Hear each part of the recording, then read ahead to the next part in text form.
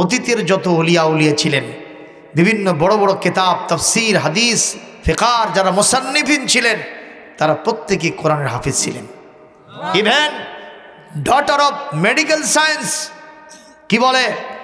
Father of medical science founder of medical science এই পৃথিবীর যিনি চিকিৎসাবিদ্যার জনক এবনে সিনা পর্যন্ত কোরআনের হাফেজ ছিলেন। আর কম فلما تشكل في اجتهاده تردد في المسجد আরো জোরে কর আল্লাহু আকবার তারাদ্দাদা ফিল মসজিদ ফিল মাসাজিদ বলা হয়েছে ইবনে সিনা যখন তার গবেষণা করতে গিয়ে তিনি যখন থেকে যেতেন তিনি যখন কোথাও আটকে যেতেন, তিনি অন্য কোথাও যেতেন না। তিনি আল্লাহর ঘর, মসজিদের ভিতরে অজু করে প্রবেশ করতেন। দুরাকাত সালাতুল হাজাতের নামাজ আদায় করে মহান আল্লাহর কাছে থেকেই সেই সমাধান নিয়ে নিতে একটু জোরে করে আল্লাহ একবার সুতরাং কোরআন করিমের হাফেজ হওয়া এটা একটা গৌরবের বিষয়। কেমতের দিন ইকালুল সাহেবেল কোরআন আল্লাহ রাব্বুল আলামিন কিয়ামতের দিন হাফেজে কোরআনকে বলবেন? ও হাফেজে কোরআন এ করা অর্থাকে তুমি কোরআন পড়ো আর জান্নাতের সিঁড়ি ওপর দিকে উঠতে থাকো। আখরা আয়াতিং তাকরাউহা। জান্নাতের সেই জায়গাটা তোমার জন্য বরাদ্দ হবে, যেখানে গিয়া তোমার তেলাওয়াত শেষ হয়ে যাবে। আমরা যারা শুধু কুলহুসুরা পারি, আমরা তো সিঁড়ির এক ধাপ উঠেই শেষ। কথা কয় না? কেউ যদি নামাজে পড়ি তো শুধু দশটা সুরা জানি, তাহলে দশটা সিঁড়ির ধাপ উঠে আমার কাম শেষ। কথা কয় না? আর যারা হাফিজে কোরআন,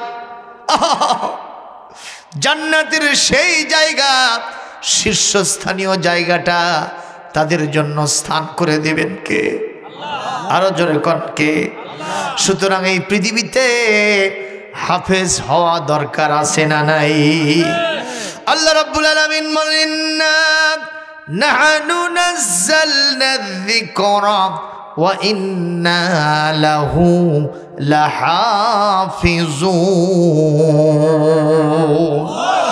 এই কোরআন নাজিল করেছি আমি। এটাকে সংরক্ষণ করা, মুখস্থ করার পরিপূর্ণ দায়িত্বটাও গ্রহণ করেছি আমি। এটা কেমনে গ্রহণ করেছেন তিনি? কীভাবে কোরআন হিপস হবে, সংরক্ষিত হবে? বলে এই যে মসজিদগুলি তৈরি হয়েছে, মাদ্রাসাগুলি তৈরি হয়েছে বিভিন্ন জায়গায় ছোট্ট ছোট্ট সোনামণিরা হাফেজ হচ্ছে। এই গোটা বাংলাদেশ যদি আপনি তন্ন তন্ন করে খোঁজেন, এক কোটির উপরে আল্লাহর কোরআনের হাফেজ হয়ে গেছে। একটু যখন আল্লাহ একবার কোরআন বিদ্বেষী শক্তি যদি কোরআন করিমের সমস্ত মাসাবগুলি জ্বালায় ফেলে, সমস্ত প্রিন্টিং প্রেসগুলি বন্ধ করে দেয় কষি কসম মহান আল্লাহ রব্বুল আলমিনের, এই কোরআন কখনো দূর হবে না। কারণ প্রত্যেকটা সিনার ভিতরে, প্রত্যেকটা স্মৃতিপটের ভিতরে এই কোরআনটা অঙ্কিত আছে। আমার আসল জায়গা হচ্ছে লাউহম মাহফুজ। সেখানে তোর সুপ্রিম কপিটা ওখানে লেখা আছেই। সুবহানাল্লাহ, জোরে কর। সব হাফেজদেরকেও যদি জ্বালায় দেওয়া হয়, সবগুলোকে জবাই দেওয়া হয় ফাঁসি দেওয়া হয়। তারপরেও কি কোরআন শেষ হবে? কারণ আসল জায়গায় ওখানে কারও হাত যাবে না। তো আমি এই কথাগুলি কেন নিয়ে আসলাম? একটা আজীব কেতাব। লা তোহসা আজা ইবহু এর আশ্চর্যান্বিতা জীবনে কোনো দিন শেষ হবে না। সুবাহান এর মজেজা শেষ হবে না। ওলা তুবলা গড়া ইবহু এটা কখনো পুরাতন হবে না। সুবাহান আল্লাহ কর ফি মানার হেকমা। এর ভিতরে জ্ঞান এবং বিজ্ঞানের মশাল আছে সুবাহ আল্লাহ এটা একটা মহা সমুদ্র যিনি যা অর্জনের জন্য এর ভিতরে ডুব দিবেন, তিনি এখান থেকে সেটাই উদ্ধার করতে পারবেন। যদি কেউ মনে করে আমি কোরআন থেকে বিজ্ঞান নিব, এর ভিতরে ডুব দিবে, উনি বিজ্ঞান উদ্ধার করতে পারবেন। সুবাহান্লাহ কন্যা। যদি কেউ বলে যে আমি এখান থেকে কৃষি নিব এগ্রিকালচার নিব উনি এর ভিতরে ওই উদ্দেশ্যে ডুব দেবেন, কৃষিকাজ কেমনি, কীভাবে করতে হয় তার সম্পূর্ণ কোরআন থেকে উনি উদ্ধার করতে পারবেন। যদি কেউ মনে করে আমি আকাশের মহাশূন্য সম্পর্কে জ্ঞান অর্জন করব কোরআনিক করিমের ভিতরে ডুব দিবে, সে মহাশূন্য কীভাবে আছে, এই সবগুলি তিনি সেখান থেকে অর্জন করতে তিনি গবেষণার মাধ্যমে বের করতে পারবেন। সুবহানাল্লাহ। যদি কেউ বলে, আমি কোরআন থেকে মাস আলা মাসাইল নেব আমি ফতুয়া নেব। কোরআনই করিমের ভিতরে ফতুয়া আছে না নাই? কম না বেশি? পুরাটা কোরআন তিরিশ পারা ফতুয়া দিয়া ভরা। আর আমাদের দেশে কেউ কেউ কয়, ফতুয়া নিষিদ্ধ করব। আরে পাগল বম্বাস্টিক মার্কা, কিছুই বুঝিস না। ফতুয়া বন্ধ করা মানে আমার কোরআনটাকে বন্ধ করে দেওয়া। কেউ বলে, জিহাদ নিষিদ্ধ করব। তুই তো জানিস না, তুই তো বুঝিস না। কোরআন করিমের এমন সুরা আছে, টপ টু বটম, শুধু জিহাদের কথাই। কথা কয় না, কথা কয় না। একটা সুরার নাম আছে সুরাই খেতাল কেতাল মানে কি? লড়াই সংগ্রাম। ওই সুরার ভিতরে শুধু এই আলোচনায় আছে, সুরায় তাওবা জিহাদ দিয়ে ভরা, সুবহানাল্লাহ কর। আরও জোরে গান, সুবহানাল্লাহ। সুরায় সব জিহাদের আয়াত দিয়ে ভরা। এই যে সুরায় নেশা বললাম, জিহাদের আয়াত দিয়ে ভরা। কোরআনে কেরিমির সুরাতুল বাকারে অনেক আয়াত আছে, জিহাদের আয়াত। কথা বলেন না কেন? সুরে আংফাল জিহাদের আয়াত দিয়ে ভরা। আমার দৃষ্টিতে আমি দেখেছি, যদি কোরআনী করিমকে তিন ভাগ করা যায়, তিন ভাগের একটা ভাগ ওয়ান থার্ড খুঁজে পাওয়া যাবে শুধু জিহাদ আর জিহাদের আয়াত দিয়ে ভরা। সুতরাং জিহাদ কি কখনো বন্ধ করা যাবে? বন্ধ করলে তাহলে কি বন্ধ করা হবে? কোরআন। আপনারা কি সেটা চান নাকি? আপনারা বলেন জিহাদ জিহাদ করতেছেন। জিহাদ করে মানুষ তো জঙ্গিবাদ হচ্ছে। আরে মিয়া, জঙ্গিবাদ এক জিনিস, জিহাদ আর এক জিনিস। আমার নবীর জীবনে জিহাদ ছিল কি না? কথা কয় না। সাতাশটা জিহাদ বিশ্বনবী তার জীবনে করেছেন। আর সতেরোটা যুদ্ধে তিনি নিজে কমান্ডার ইন চিফ সেনাপতি ছিলেন। একটু জোরে বলেন না সুমহান আল্লাহ আজকে সেই নবীকে আমরা শুধু খানকায় ঢুকাইছি। খালি মসজিদ মাদ্রাসার মক্তবে ঢুকাইছি। আমার নবী অলরাউন্ডার ছিলেন ক্রিকেটের ভাষা।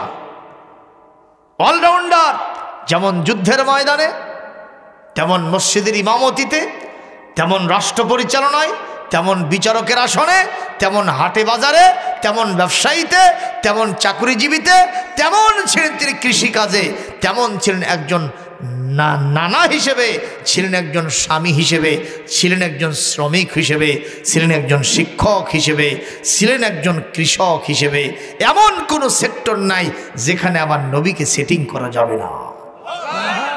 আর একটু জোরে হোক। আরও জোরে হোক।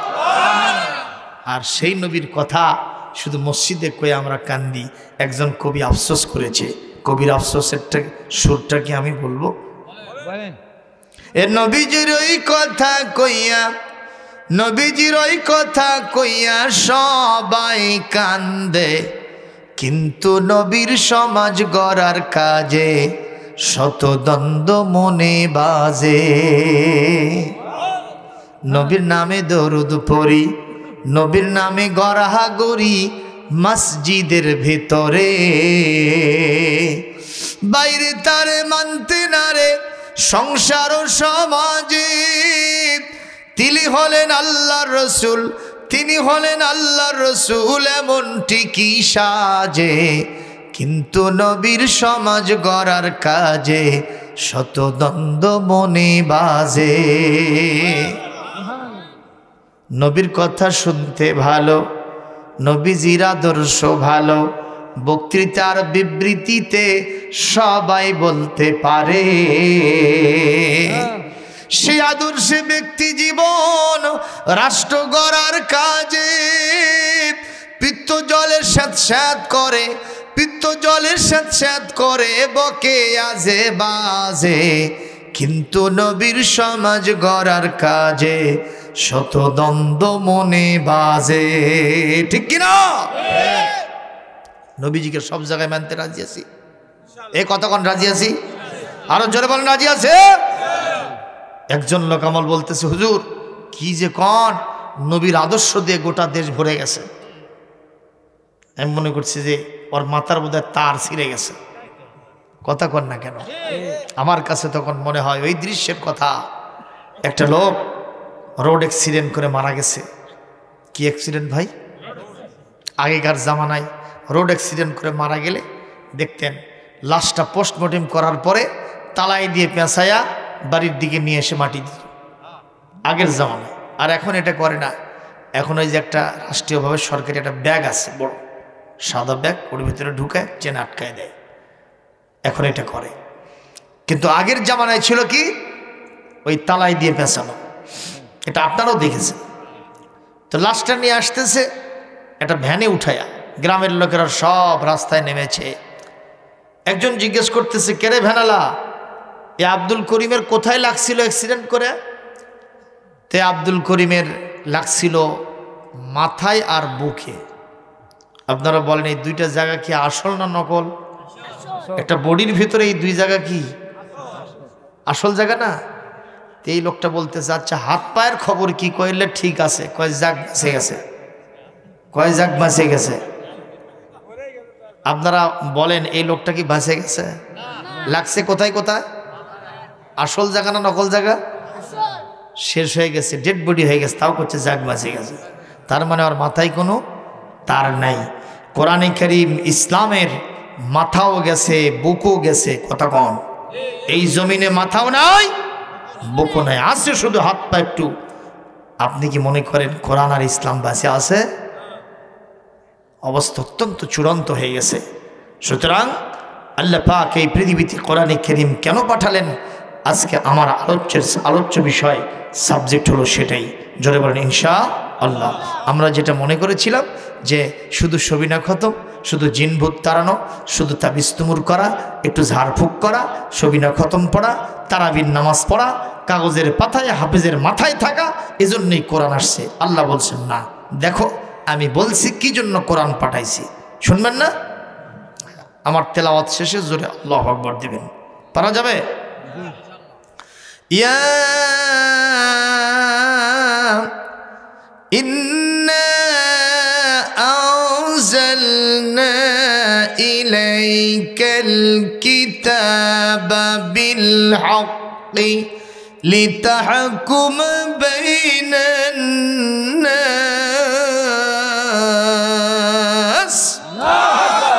لتحكم بين الناس بما أراك الله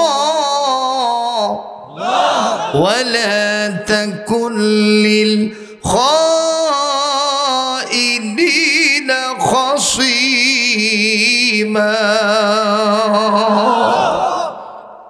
আমার আল্লাহ পাক বলেন ইন্না আনজালনা ইলাইকাল কিতাব এ নবী, এই তিরিশ পারা কিতাবটা আপনার প্রতি আমি নাজিল করেছি। উদ্দেশ্য হলো, লে তাহাকুমা বাইনান্নাস যাতে মানুষের মাঝে এই কোরআন দিয়ে আপনি বিচার ফয়সালা করতে পারে। তাহলে বোঝা যায়, এই কোরআন একটা জুডিশিয়াল ল সুভান এটা একটা আইনের কিতাব, এটা একটা সংবিধান। এটা একটা কনস্টিটিউশন এর কোনো ব্যতিক্রম হবে না, ঠিক কিনা? যতই বুকে লাগায়, যতই মুখে লাগায়, যতই চুমু খায়, যতই মুখস্থ করে সুরাইয়া সিনের ফায়দা সুরাইয়া সিনের সওয়াব অর্জন করার চেষ্টা করি ইনশা আল্লাহ তো হবেই। কোরআনকে আপনি মর্যাদা দিলে আল্লাহ আপনাকে সওয়াব দেবে কিনা? অবশ্যই দেবে। কিন্তু এটাই কোরআনের উদ্দেশ্য নয়। কোরআনের উদ্দেশ্য হলো আমার আপনার জীবনে যত খারাপ আমল আছে অন্ধকারচ্ছন্ন পরিবেশ আছে এগুলো দূর করে দিয়া আলো ঝলমল পরিবেশ তৈরি করে দেবে কোরআন। যেরকম মারহাবা। বিল হাক্কে বিমা আরকল্লাহ। হে নবী আমি আপনাকে যেভাবে দেখায় দিয়েছি সেইভাবে কোরআন দিয়ে বিচার হবে। সুবহানাল্লাহ কর। আমি দু একটি উদাহরণ কোরআনী খেরিমের বিচারের ব্যাপারে আপনাদেরকে দেব। কষ্ট হবে আপনাদের? ও মুসলমান, কষ্ট হবে? এই পৃথিবীতে আল্লাহর পাঠানো এই সমস্ত কেতাবের যে ফয়সালা, এটা কখনো খারাপ হয় না। এর বিচার সালিশ কখনো অবশ্যই ইনজাস্টিস হয় না। এটা জাস্টিস হয়ে যায়, এটা ন্যায় বিচার হয়। এটা হয় আদালত এবং ইনসাফপূর্ণ। এটা জোরে বলেন না সুবাহান এটা খেয়াল করেন, আমার নবীর জামাইয়ের নাম কি? সবাই বলেন। খালি আলী করলে হবে না? রদিয়াল্লাহ আনহু বলতে হবে। উনি যে বিয়ে করেছিলেন সে মেয়ের নাম কি? ফাতিমাতুস জাহরা রদিয়াল্লাহ তালা আনহা। রসুল হাদিসে বলেছেন ফাতেমাতু সৈয়দাতু নিসা এ আহলিল জান্না ফাতেমা হলো আমার এই পৃথিবীতে সকল জান্নাতি নারীদের সরদারিনী। নবীর মুখের কথা আর আমাদের কথা কি এক? ওনার কথা কারেন্টের মতো আল্লাহর কাছে কবুল হয়ে যায়। এত পাওয়ারফুল হা বললে হালাল হয়, না বললে হারাম হয়। আঙ্গুল উঁচু করলে চাঁদ দ্বিখণ্ডিত হয়ে যায়। পা বাড়ালে আরশে আজিমে চলে যায়। কথা বলেন? আস্তে করে হাত তুলতে দেরি হয়, মোনাজাত কবুল করতে দেরি হয় না। সেই নবী হলো আমাদের নবী। মার হাবা জোরে হাবি যাবি না। আমার নবী আর আমি একই মানুষ, এ কথা বলা যাবে? কেউ কেউ কয়, এই যে আমাদের দেশে, আপনাদের এলাকায় নিশ্চয় আছে আহলে হাদিস, আছে না? কোথায় আছে? এই যে গোনাকারি এগুলো এলাকায় আছে। এখানেও কেউ থাকতে পারেন, মন খারাপ করবেন না। সত্যি করে বলছি, কোরআন হাতে রেখে, আমি আর নবী কখনো এক মানুষ না। আমার নবীর এক্সেপশনাল মর্যাদা, আকাশচম্বী মর্যাদা কে দিয়েছেন? একটু জোরে বলেন, কে দিয়েছেন? কোরআনী কেরিমি আল্লাহ পাক আমার নবী শানের বলেন قل إنما أنا بشر مثلكم يوحى إلي أنما إلهكم إله واحد আরো জোরে কর আল্লাহ আকবার এনবি আপনি বলে দেন আমি তোমাদের মতোই মানুষ তবে আমার আর তোমার মাঝে একটা পার্থক্য আছে। আমি আমার নিজের মস্তিষ্ক প্রসূত চিন্তা চেতনা দিয়ে চলি না। আমার ওপরে আল্লাহর পক্ষ থেকে সরাসরি ওহি নাজিল হয়। আমি সেটা দিয়ে চলি। এই জন্য আমার নবীর কোনো ভুল নাই। আর আমাদের ভুল আছে না নাই? কথা কয় না। মনে মনে হয় যে হইয়া গেছে। কথা কর না কেন। তারপর দেখা গেল হয়নি। ঠিক না ঠিক গতকাল খা পরশু দিন আমাদের আবহাওয়াবিদরা বলল, সামনে আরও সমস্যা আসতেছে। কি? ঘন কুয়াশা হবে, বৃষ্টি হওয়ার সম্ভাবনা রয়েছে। অথচ গতকাল আজকে রোদ হলো। কথা কয়টা তাহলে আমাদের কথার ভেতরে ভুল আছে না নাই? কিন্তু আমার নবীর কথায় কোনো ভুল নাই। আমরা আজকে বলতেছি এক কথা, দেখা যায় সেটা রাতারাতি পরিবর্তন হয়ে আগামীকালকে আর হয়ে যাচ্ছে। এটা হবে, কারণ আমরা নিজেদের মস্তিষ্কের চিন্তা চেতনা দিয়ে চলি। আমার নবী সেভাবে চলেন না। আমার নবীর যিনি ডিরেক্টর তিনি কে? ইনস্ট্রাক্টর যিনি, তিনি কে? সুতরাং নবীর সাথে আমাদের মর্যাদার পার্থক্য হতেই হবে। পার্থক্য হতেই হবে। ঠিক না ঠিক বলেন? আমার সালমান, নবী যদি হন সাততলা, আমরা হলাম বাসতলা নবী যদি হয় শেখ সাদি, আমরা বকরিল্লাদি। কথা কয় না। শেখ সাদি আর বকরিল্লাদি কি একটাই? সুতরাং আমাদের সবাইকে নবীর সানে খুব সাবধানতার সাথে কথা বলতে হবে। একজন সাহেবের জিজ্ঞেস করা হলো, নবীর কবর কে কি কবর বলা যাবে? কয়, বলতেই হবে। রওজা বলা যাবে, কয়, না, যাবে না। আমার কবর আর নবীর কবর নাকি একই কবর? কথা কয় না। একই কবর হবে হবে না। কারণ আবু দাউদ শরীফের হাদিসের ভিতরে এসেছেন নবীজি বলেছেন, ইন্নাল্লাহ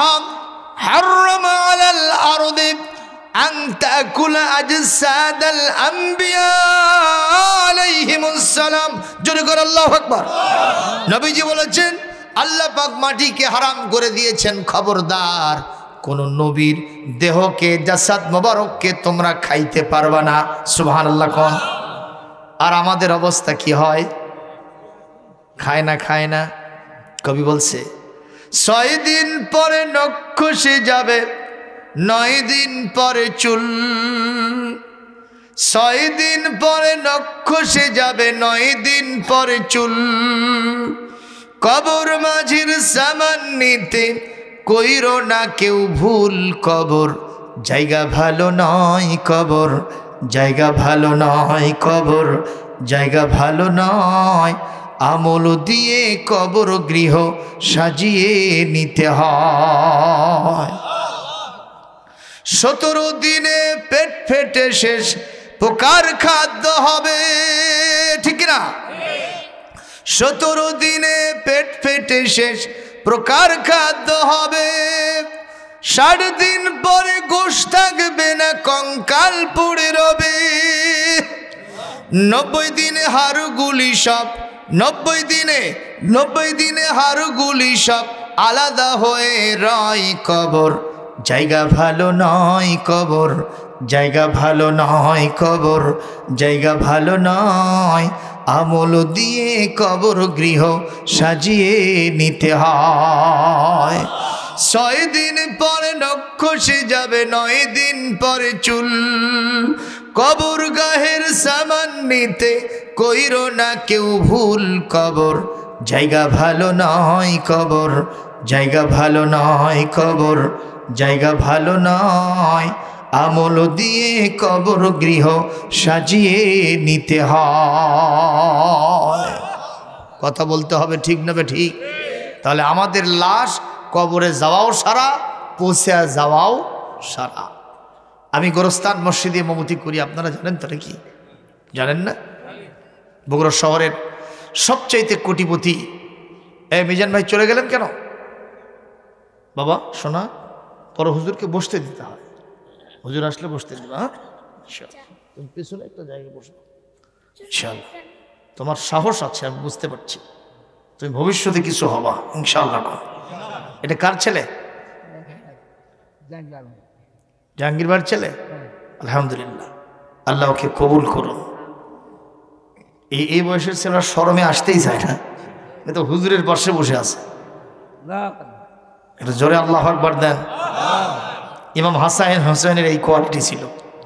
নবী আছে যেখানে, হাসান হোসেন সেখানে। কথা কয় না। আছে না নাই? একদিন আল্লাহর নবী মসজিদে নবীতে খুদ্া দিচ্ছেন। ইন দ্য মেন টাইম হাসান হোসেন দুই ভাই। মার কাছ থেকে দৌড়ে ছুটে বের হয়ে আসছে। এমনভাবে আসতেছে জামার একটা হাতা, ভেতরে ঢুকানো আর একটা মাটিতে ছিঁচড়ে যায়। দুই ভাই একই অবস্থা? তার মানে মা জামা পড়ায় দেবেন, এই সময়টুকু তারা দেয় নাই। আমার নবীর কাছে, নানার কাছে আমরা যাব। আর আমার নবীজি, আহ! আমরা ছোট ছোট ছেলে মেয়ে দেখলে আমরা রাগ করি, কথা কয় না। মসজিদে যখন কোনো ছোট ছেলে মেয়েকে দেখি অনেকে দেখবেন খালি দাঁত কটমট করে।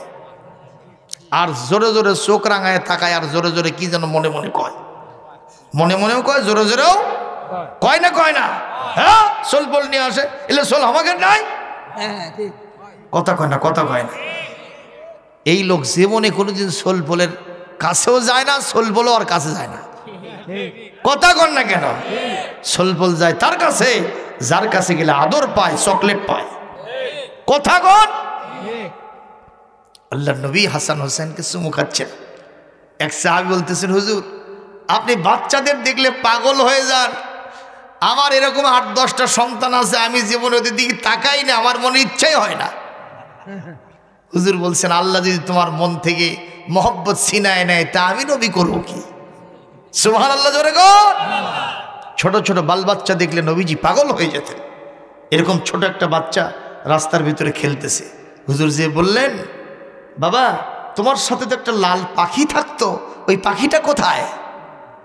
ছোট্ট বাচ্চাটা কেঁদে ভেড়ায় ভরাই দিয়েছে ইয়া রসুল্লাহ আপনি বিশ্ব নবী। আমি গরিব মানুষের ছেলে শিশু সন্তান আমার সাথে একটা লাল পাখি থাকে আপনি সে পাখিরও খবর রাখেন। আপনি বিশ্বনবী হবেন তা কে হবে? জোরে করে আল্লাহ। সুপ্রিয় উপস্থিতি আল্লাহর নামে। যখন দেখলেন হাসান হোসাইন এমন ভাবে আসতেছে, তাদের জামাটা পুরাটা শরীরের ভিতরে এখনও লাগাতে পারে নাই, ঢুকাতে পারে নাই। যেহেতু তার কলিজার টুকরার সন্তান, নিজের ঘরের সন্তান, ঠিক না ঠিক কন? যদি এই দৃশ্য জনাকীর্ণ সাহাবিদের সমাবেশে দেখা যায় নবীরও তো একটা মান সম্মানের ব্যাপার হয়। অথচ নবী কি দিচ্ছেন? খুদ্া দিচ্ছেন, বক্তৃতা দিচ্ছেন, কথা কয় না। এই মুহূর্তে নবীজি খুদ্বার কথাগুলি কেতা করে দিলেন, বিচ্ছিন্ন করে দিয়া নবীজি দৌড়ে গেলেন। হাসান আর হোসাইন দুই ভাইকে জামা সুন্দর করে পড়ায় দিয়া নিয়ে এসে তিনি হাসানকে ডান উরুর উপরে আর হোসাইনকে বাম উরুর উপরে বসাইলেন।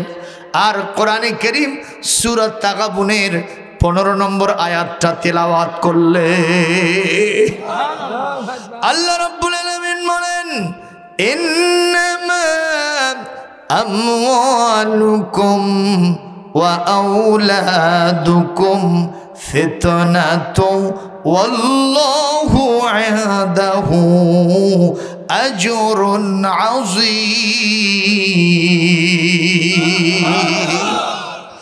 আল্লাহর নবী আয়াত বললেন, আর বললেন আল্লাহ,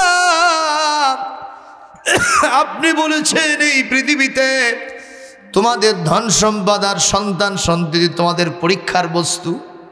আমি হাসান হোসাইনকে দৌড়ে গিয়া ওদের জামা ঠিক করে দিলাম আর আমার উরুর উপরে বসালাম। আমার ক্ষুদ্র দিতে ডিস্টার্ব হয়ে গেল। সম্ভবত আমি পরীক্ষায় ফেল করলাম। আমি মনে হয় পরীক্ষায় ফেল করলাম। আল্লাহ আপনি আমাকে মাফ করে দেন। নবীজি বললেন, নবী হে, আল্লাহ পাক বললেন, নবী হে, মন খারাপ করবেন না। আপনি শিশুদের প্রতি যে যত্ন নিয়েছেন, এটাই হলো পরীক্ষায় উত্তীর্ণ হওয়ার সর্বোচ্চ মাপকাঠি। আরও জোরে কন্যা আল্লাহ একবার মুসলমান, সেই জন্য বলছিলাম, এই পৃথিবীতে শিশুদেরকে আমাদের আদর করতে হবে। ঠিক না ঠিক আল্লাহর নবী সাল্লাহ আলী ওসাল্লাম একটা বালককে পাইছিলেন, যার নাম আনাস বিন মালেক। হিজরতের পরেই সবাই সোনা দানা, টাকা পয়সা, ধন দৌলত, নারীরা কানের দুল, নাকের ফুল, এরপরে হাতের বালা, গলার মালা, যা যা ছিল নবীর কাছে স্তূপ করে দিল। কিন্তু গোমাই সাবেনতে মেলহান নামে এক মহিলা ছোট্ট একটা বাচ্চা হাতের ভিতরে নিয়েছে, আর দু চোখ থেকে দরদর করে পানি পড়ছে। নবীজি তখন আয়ু, আবু আইয়ুব আনসারি রদিয়াল্লাহ তালানহুর বাড়িতে বসা ছিলেন সুবাহান আল্লাহ জোরে কন। এই মুহূর্তে এই মহিলা কেঁদে কেঁদে বলেন হাবিব এই মদিনার আবাল বৃদ্ধ বনিতা, ধনী, গরিব সবাই আপনাকে কিছু কিছু উপহার দিল ঢোকন দিল, হাদিয়ে দিল। আমি এমন নাদান আমি এমন আমি এমন একটা হতভাগ্য মহিলা আমার স্বামী আজ থেকে কয়েক বছর আগে বিদায় হয়ে গেছে। বাড়িতে তেমন ধন সম্পদ নাই। আমার একমাত্র এই কলিজার টুকরা আনাজ বিন মালেক। এর বয়স এখন দশ বছর। এখন কত? দশ বছর। এই দশ বছরের বালকটাকে আমি কিছুই দিতে পারলাম না। আমার কলিজার ধনকে উপস্থিত করেছি। আমি এটাই আপনাকে দিয়ে দিলাম। আপনি যেভাবে ইচ্ছা আমার আনাজ থেকে আপনি খেদমত নেবেন। হুজুর খুশিতে বাগ বাগ হয়ে গিয়ে বললেন, আনাসের মা গোমাইসা তুমি আমাকে সোনা দানাম, টাকা পয়সা, ধন দৌলত দিতে পারো নাই, কিন্তু তুমি যা দিয়েছ, ওরা যা দিয়েছে সবার থেকে তোমার হাদিয়া আল্লাহর কাছে বেশি কবুল হয়ে গেছে। কারণ হলো, মানুষের সন্তানই হলো সবচেয়ে বড় কলিজার ধন। কথা কয় না। আরও জোরে বলেন না কেন? সুপ্রিয় উপস্থিতি এই জন্য তুমি সর্দার আমাকে দিয়ে গেছো। এর থেকে বড় আর কি হতে পারে? হজরত আনাস বিশ্ব নবীর সাথে থাকলেন দশ বছর। নবীজি এন্তেকালের সময় পর্যন্ত কয় বছর থাকলেন? একটু জোরে বলেন। দশ বছর। এই দশ বছরে হজরত আনাস বলেছেন নবীজি কোনোদিন বলেন নাই আমাকে আনাস এই কাজটা কেন করেছ? আনাস, এই কাজটা কেন করো নাই? এভাবে টন দিয়া লাউডলি কোনো কথা নবী আমার সাথে বলেন নাই। মারা আবাকর একদিনের ঘটনা নবীজি আমাকে বলেন, আনাস, এজহাব ইলা বাইত ফলান, বেহাজহিল খবর। তুমি অমুক বার অমুকের কাছে ওর বাড়িতে গিয়ে এই খবরটা একটু পৌঁছা দিয়ে আসো। হজরত আনাস বলেন, আমি রসুল্লাহর এই খবরটা নিয়ে যাচ্ছিলাম। তো রাস্তার ভিতরে দেখি কিছু সংখ্যক বালকেরা তারা খেলাধুলো করতেছে। তো আমিও বালক সুলভ, শিশু সুলভ আচরণ। আমি ওখানে দাঁড়ায় থেকে খেলা দেখতেছি। আমি খেলতেছি না, কিন্তু খেলা দেখতেছি। কিন্তু সময়টা কখন এক্সপায়ার হয়ে গেছে, কখন গড়িয়ে গেছে আমি টেরি পাই নাই। বিশ্বনবী নিজেই রাস্তায় নেমেছেন। আমার পিছনে এসে তিনি দাঁড়িয়ে আছেন, আমি টের পাই নাই। আমি চিন্তা করলাম, আমার পিছনে ছায়ার মতো দেখতেছি, কি এটা? তাকায় দেখি আমার সোনার নবীজি আমার দিকে চেয়ে মুস্কি হাসতেছেন। আর আমরা হলে কি করতাম? কান এক হাতে আর এক হাতে সর কথা কয় না। কি ভাই? ঠিক। না? চড়ায় দাঁত ফলাই দিতাম। নবীজি বিশ্ব নবী হাসতেছেন তা মুস্কি হাসি। আনাস তোমাকে যে সংবাদ দিতে পাঠাইছিলাম সংবাদ দিয়ে আস বলিয়া রসুল্লাহ আল আন আজহাবু ইলা বাইতে ফোলান। আমি এই মুহূর্তে যাচ্ছি। বলে যাওয়া লাগবে না। আমি তোমার কাজটা সেরে এসেছি। রসুল আমাকে ভ্রুকঞ্চিত করেন নেই, চোখ মোটা করে আমার দিকে তাকান নেই। ইসলাম ঘরে ঘরে কেমনে পৌঁছেছে? সত্যি করে বলছি এই রকম আদর্শ ছাড়া শুধুমাত্র রাজপথের নারায় তকবির দিয়া আল্লাহর দিন কায়েম করা সম্ভব হবে না। কথা বলেন না কেন? রাজপথ যেমন লাগবে, তেমন গরিব দুঃখীর ঘরে ঘরে এই ধরনের সুব্যবহার, মোলায়েম ব্যবহার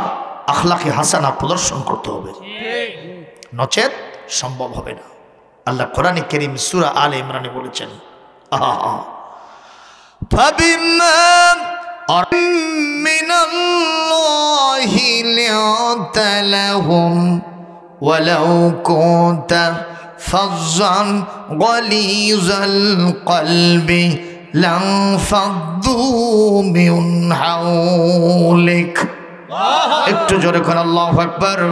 আল্লাহ বলেন, নবী, হে, আপনি যদি কর্কশ ভাষী হতেন, কটু ব্যবহারকারী হতেন, আপনি যদি সবচেয়ে খারাপ ব্যবহার করতেন, আপনি যদি খুবই গরব মানুষ হতেন, তাহলে এই লোকগুলি আপনার পাশে কখনো থাকবে না, থাকতো না। আপনার পাশে এই লোকগুলি আছে কেন?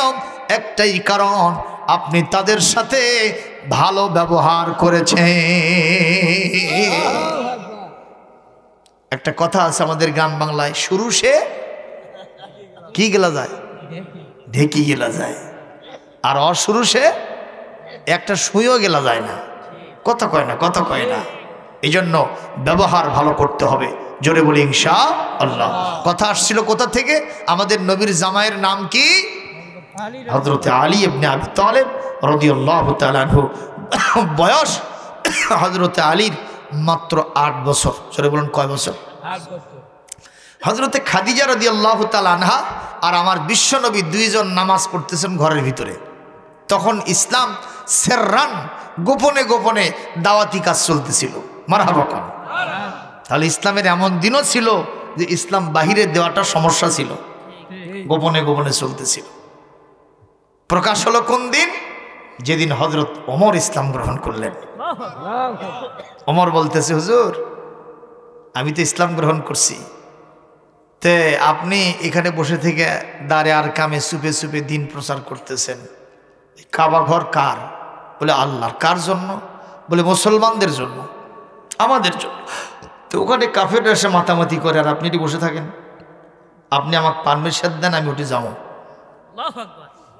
হুজুর বলতে সমর এন্তাজের কালিলান সাবরান জামিলা। একটু দেরি করো। আমাদের সংখ্যাটা আর একটু ভারী হোক বলিয়া রাসুলাল্লাহ, লাগবে না। আপনি শুধু দোয়া দেবেন আর আমি আছি। একটু জোরে বলেন না মার হাবা একটা কথা আছে, খিয়ারোহম ফিল জাহিলিয়াতে, খিয়ারোহম ফিল ইসলাম। জাহিলে যুগে যারা বীর পুরুষ হয়, ইসলাম গ্রহণ করলে ইসলামের জন্য এরা অনেক বেশি খেদমত আঞ্জাম দিতে পারে। এরা বড় লিডার হয়ে যায়। এই জন্য অমর।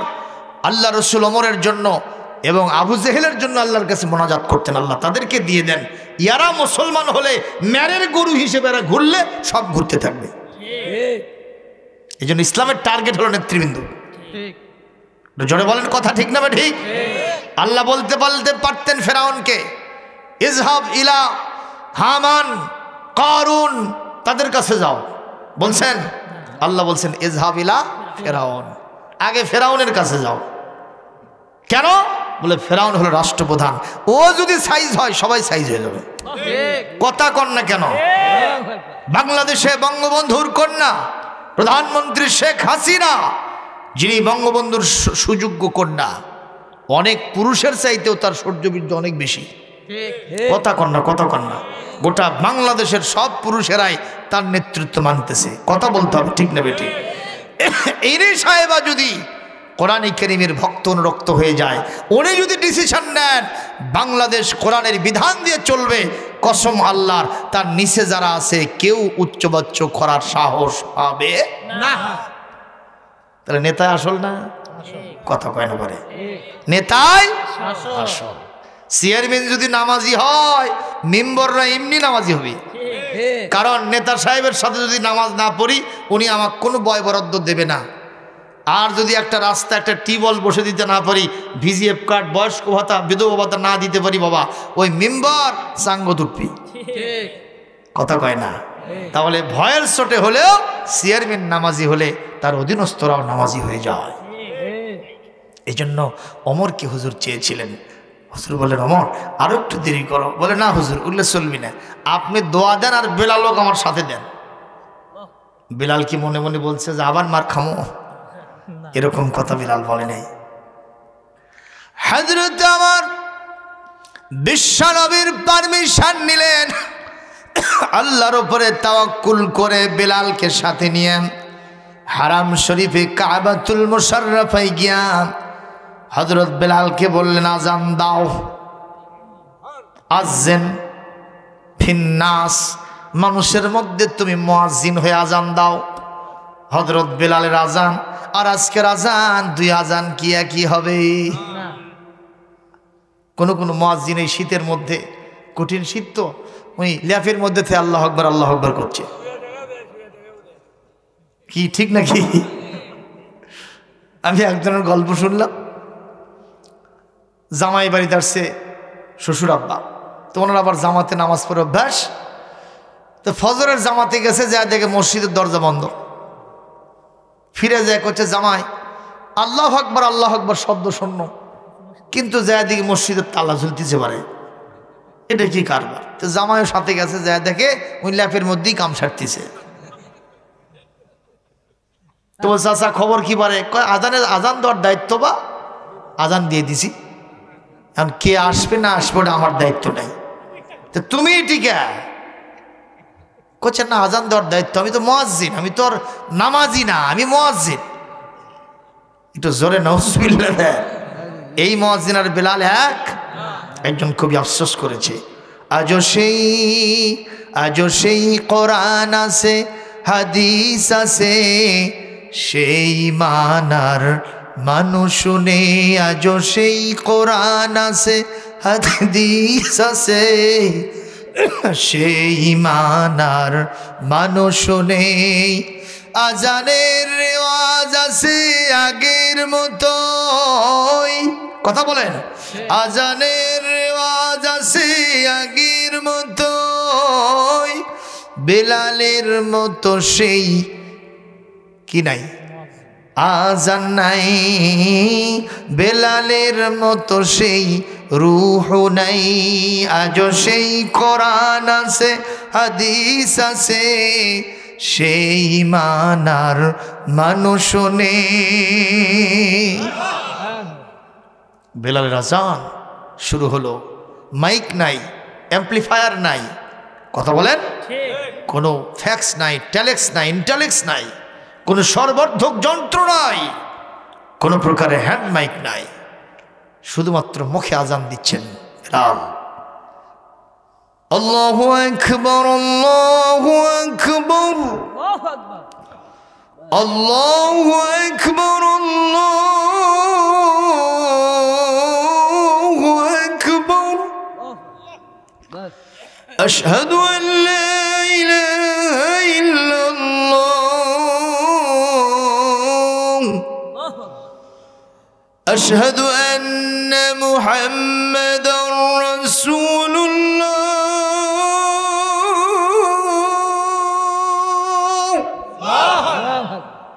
আল্লাহ আকবর বলছে কোনো সমস্যা নাই আসাদু আল্লাহ ইলাহা ইল্লাল্লাহ বলছে কোনো সমস্যা যেই বলছে আসাদু আন্না মোহাম্মদ রসুল্লাহ আমি সাক্ষ্য দিচ্ছি মোহাম্মদ আল্লাহ রসুল তিনি আমাদের নেতা মার হাবা এটা বলাও সারা আবু জেহেল তার বাড়ি থেকে মাথা বার করছে। আবুল আহাব মাথা বাইর করছে। উতবা সাইবা অলিদ বিন মুগিরা আখরাজ বিন সুরাইখ উবাই ইবনে খালব, ওকবা ইবনে আবি মুআইয়াদ সবগুলি মাথা বের করছে। বেলালের আজান সেটা কারও আজান হবে না।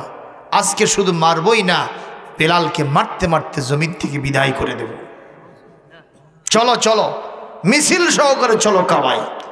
আজকে আমাদের লাতমানত উজ্জা হবল যেখানে আছে সেখানে আজান দিয়ে তাদেরকে অসম্মান করা হচ্ছে। আমরা বেলালকে মাটির সাথে মিশায় দেব। পারবে নাকি? এ জোরক্ষণ পারবে? ইয়াম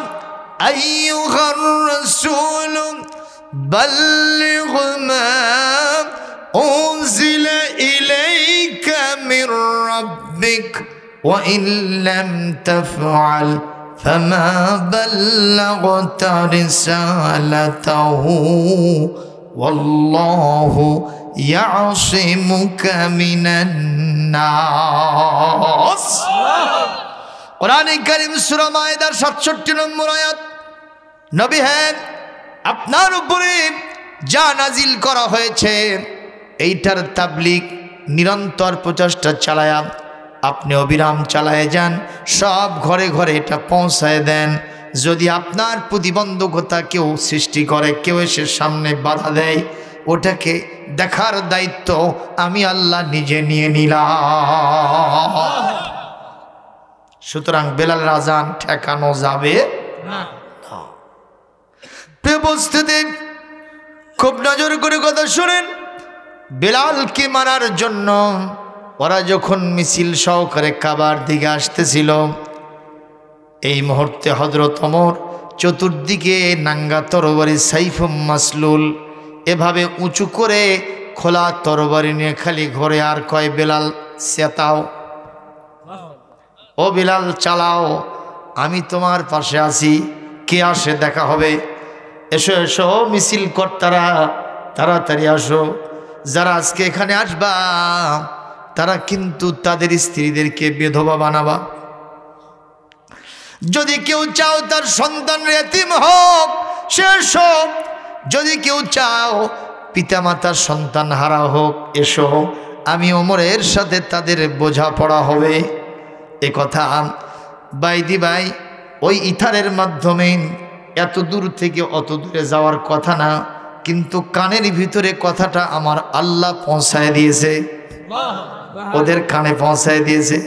ওরা তখন বলতেছে, ওখানে গেলেই যদি আমাদের সন্তান হারা হতে হয়, স্ত্রীগুলো বেধবা হয়, যদি আহারে সন্তানগুলি এতিম হয়ে যায়, তাহলে আজকে থাক, অন্তত পরে দেখা যাবে।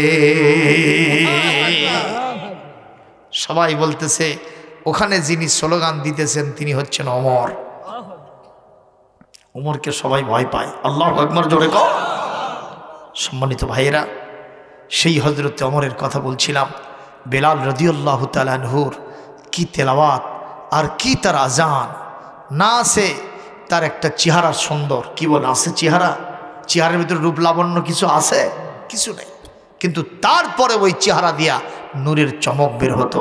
সীমাহুম ফি বুজুহিহিম মিন আসারিস সুজুদ। জোরে কোন আল্লাহু আকবার। বিলালের অনেক ওয়াজ আছে। আজকে আর সেদিকে যাচ্ছি না। আমি আসতেছি হজরতে আলীর কথায়। মনে আছে? আলীর বয়স আট বছর। হজরতে মা খাদিজা, আমার রসুল, দুইজনে গোপনে নামাজ পড়তেছেন। কি ভাই? হজরত আলী বললেন, মা হাজা, এটা কি? আপনারা কি করতেছেন এটা? মাজা তাসনাউন, আপনারা এটা কি করেন? তা আমার রসুল বললেন, হাজা হাজা সালাত এটা হলো নামাজ। নুসাল্লি লিল্লাহি সুবাহান মার রুকু অসুজুদ রুকু এবং সেজদা অল কেরাত। কেরাতের মাধ্যমে আমরা আল্লাহর জন্য নামাজ পড়তেছি। তে বলছে, এটা তো আমি আগে জানি না। তো দেখে ভালোই লাগতেছে। তে বলছে যে, আলী আলী, কুম মানা, তুমি আমাদের সাথে হও। তুমি আমাদের সাথে দাঁড়ায় নামাজ পড়ো। তুমি বলতেছেন নামাজ পড়লে কি করা লাগে? নামাজের আগে কিছু আছে নাকি? বলে আছে। কি সেটা? বলে যে লা ইলাহা ইল্লাল্লাহ মোহাম্মদ রসুল্লাহ এই কালিমাটা পড়তে হয়। এটা জোরে বলেন না। আরও জোরে বলেন না। হজরত আলী তখন ব্যাগ গিয়ার মারছে না এটা তো দেখতেছি। ওনারা তো আরবি বোঝে বোঝে না? আমাদেরকে যদি কেউ আরবিতে গাল দেয় আমরা বলব বোধহয় আমার বাপের জন্য দোয়া করছে রে। না দেশি মুরগি জব কর। হ্যাঁ। তো বাপের জন্য যে গাল দিছে আরবি দেয়া এটা আমি টেরি পাইনি। জোরে বলেন কথা ঠিক না বে ঠিক? আর সৌদি আরবের আরও ছোট ছোট পাল বাচ্চারা পর্যন্ত আরবির মিনিং বোঝে। তিনি বলছেন লা ইলাহা ইল্লাল্লাহু মোহাম্মদ রসুল্লাহ মানে হলো কোনো আইনদাতা নাই বিধানদাতা নাই সার্বভৌমত্বের মালিক নাই রিজেক্টদাতা নাই হ্যাঁ? সব কিছু আছে একমাত্র কে? উনি ছাড়া এটা আর কেউ নাই।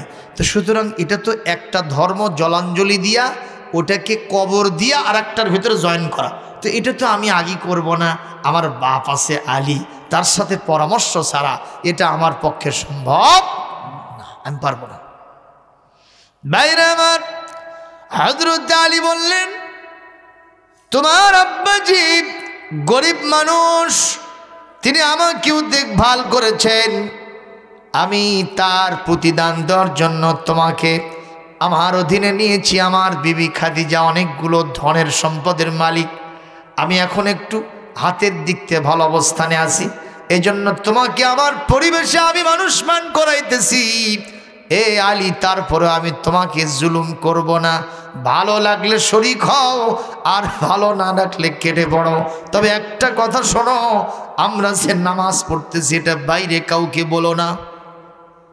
আল্লাহ একবার জোরে কম হজরত আলী আট বছরের সন্তান। তিনি তখন রাতের বেলায় এটা গ্রহণ না করে ঘুমাতে গেলেন।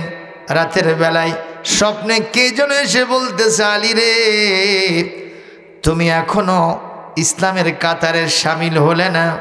তুমি তো এখন নকল জায়গায় আসো আসল জায়গাটা তুমি পরিত্যাগ করেছ। আলী রে, তোমার আমার ঠিকানা ইসলাম ছাড়া কিছুই হবে না। এরকম একটা স্বপ্নে কে যেন একটা সুন্দর পুরুষ এসে সুপুরুষ এসে তাকে এটা দেখাই দিয়ে গেল। পরের দিন সকালবেলা উঠে কোনো উচ্চবাচ্য না করে আমার নবীজি কি বললেন আপনার হাতটা বাড়ায় দেন। রসুল হাত বাড়ায় দিলেন হজরত আলী হাতের মধ্যে হাত দিয়া কালিমা পড়ে মুসলমান হয়ে গেলেন। আরও জোরে বলেন না আল্লাহ সেই আলী একদিন রসুলের জামাই হয়ে গেলেন। আলহামদুলিল্লাহ বলবেন না? শুধু জামাই হলেন না আমার নবীজি বলেছেন আমার এক একজন সাহাবির এক একটা কোয়ালিটি। আর হাম উম্মাতি বি উম্মাতি আবু বকর। আমার আবু বকর হলো আমার উম্মতের মধ্যে সবচেয়ে বেশি দয়াদ্র হৃদয় সুবহানাল্লাহ আসাধ্য হুম ফি আমরিল্লাহি আমার আর আমার অমর হলো আল্লাহর আদেশ বাস্তবায়নের জন্য সবচেয়ে বেশি কঠোর প্রাণ। মারহাবা কর। আর আসদাকুহুম হায়া আন ওসমান, আমার ওসমানের হল লজ্জা বেশি। সুবহানাল্লাহ আলীর ব্যাপারে কি বললেন? ও আকদাহুম আলী। আমার আলী হলো সবচাইতে বেশি নেই বিচারক একটু জোরে কোন আল্লাহ আকবার। আল্লাহ পাকের বিধান অনুযায়ী সবচেয়ে বেশি ভালো বিচার তিনি করতে পারতেন। সে আলী যখন ইসলামের চতুর্থ খলিফা হয়ে গেলেন হওয়ার পরে আমি আপনাদের সামনে কোরআনের বিচার নিয়ে কথা বলছিলাম মনে আছে না নাই? কোরআন দিয়ে বিচার করা লাগবে নির্দেশকার। আরও জোরে বলেন হাকামতা বাইনান নাসি ইদা হাকামতুম বাইনান নাসি ফাহকুম বিল আদল জোরে কর আল্লাহু আকবার ইন্নাল্লাহ ইয়ামুরুকুম আং তু আদ্দুল আমানাতি ইলা আহলিহা ওয়া ইদা হাকামতুম বাইনান নাসি أن تحكموا بالعدل. إن الله نعم ما يعزكم به. إن الله كان سميعا بصيرا. الله بك بولين যদি বিচার ফায়সালা করো, ন্যায় বিচার করো, কারণ আমি আল্লাহ পাকের ওসিয়ত নসিয়ত হলো, অবিচার করা যাবে না, সব সময় ন্যায় বিচার করতে হবে, জোরে বলুন ঠিক কিনা? খালি রাষ্ট্রের দিকে তাকায়েন না, আমাদের যাদের ছেলেও আছে, মেয়েও আছে, এখানেও একটা ন্যায় বিচারের ব্যাপার আছে। সেটা কি? জমাজমির ভাগ বাটোয়ারা। হাদি সাহেব হজ করতে যাবে। বেটাকেও ডাকছে বিটিকেও ডাকছে ও মা তোকে লেখাপড়া শিখেছি মা অনেক কাঠখড়ি পুরাছি মা। ও মা তোকে বিয়ে দিতে আমার পাঁচ লক্ষ টাকা খরচ হয়েছে মা। আমার দশ বিঘা সম্পত্তি তোকে এক বিঘা দেব মা। আর তোর ভাই বল্টু মিয়া ওকে দেব নয় বিঘা। তুই না মাফ করে দে মা। এরকম হাজি নামের পাজি আছে না নাই? অবশ্য আমাদের দেশে নাই। কথা কোন আসে না নাই? এই মেয়েটা কলিজা ফেটে যায়। বাপের সামনে হজ করতে যাচ্ছে উচ্চবাচ্য করতে পারে না। মেয়েটা তখন মেনে নেয়। যদি মেয়েটা একটু কাউয়ার জাত হয়ে থাকে আর একটা ঘরের ভিতরে যে বলবে আল্লাহ ওটা জানার ফিরে আসে না। ঠিক। কতক্ষণ ঠিক না বেঠিক কিন্তু আমার দেশে এলাকার মেয়েরা হলো অবলা, সরলা। এক বিঘা সম্পত্তি দিয়া ইনজাস্টিস করে ওই বল্টু মিয়া, ওই পাঠা মার্কা বেটাটাকে জিতাই দিয়ে গেছে। কথা কয় না কেন? ওই ক্রেন দুর্ঘটনায় শত শত হাজি মারা গেছে। এই বল্টু পাঠা মার্কা বেটা জীবনে কোনোদিন ওইদিকে খেয়াল করে নাই। এই মেয়েটা বাইদি ভাই শুনেছে, সৌদি আরবে ক্রেন দুর্ঘটনা ঘটছে, হারাম শরীফের ভেতরে শত শত হাজি মারা গেছে। এই কথা না শোনাও সারা, ওই মেয়ের কলিজার মধ্যে তার লেগে যাওয়াও সারা। বাড়িতে হাউমাউ করে ডুক রেখে দিয়ে এসে বলি, ভাইয়া, শুনতে পেলাম, ক্রেন দুর্ঘটনা ঘটেছে। আমার বাপের কি খবর রে? একটু খবরটা নিয়ে দেখো না কেন? ওই পাঠা মার্কা বেটা বোনের কথা কানে নেয় না, খবরও নেয় না। ও মুসলমান জবাব দেন, এরকম সন্তান আছে না না? আমরা তাদেরকে জিতায় দেই, আর মেয়েদেরকে আমরা ঠকাই। একটু জোরে বলেন কথা ঠিক না ঠিক? আমাদের প্রত্যেকের উচিত ছেলে মেয়ের ভিতরে জাস্টিস করা। আপনি অরাসক বন্টনের কে? মহান আল্লাহ কোরআনে কেরিমে কে কত পাবে সেটা কি বলে দেয় না তো আপনি এখানে মাতবরি করলেন কেন? আপনি একশো বার যদি হজ করেন আল্লাহর কসম আপনার হজ কবুল হবে না। মন খারাপ করতেছেন?